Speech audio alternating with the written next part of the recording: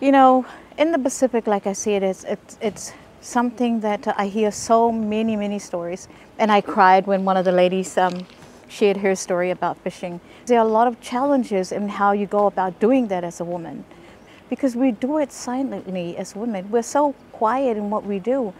And so in the, the fisheries space and being a only the only female minister in fisheries um, at the table um, is a is a huge undertaking.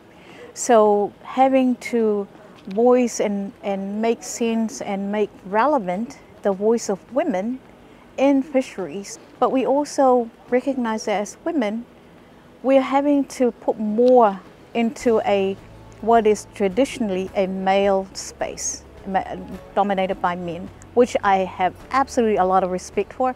But I think this is this is the era when we need to work together, uh, men and women, because it's important to also hear from what the men, um, what the views are. And I'm very appreciative to FFA and SPC for allowing it to happen. We're just voices, you know, we need to action um, what we try to advocate because if we don't action, nothing will happen. We'll be another talk fest. Um, so I'm really appreciative. This is the first ever GESI Forum Symposium in the Pacific. I'm very, very proud to be part of it.